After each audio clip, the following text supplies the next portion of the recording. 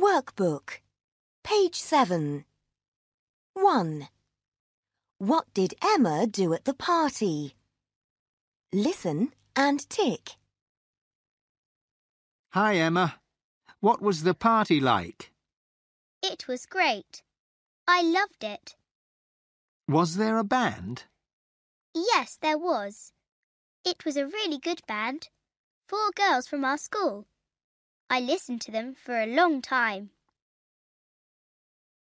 Did you dance? No, I didn't. I don't like dancing. Was there a barbecue? Yes, there was. And I had a big hot dog. So, did you have a lot of fun? Yes, I did. But I didn't go on the roller coaster. I was too scared. A roller coaster? Wow! Were there dodgems too? Yes, there were. I went on them for a long time.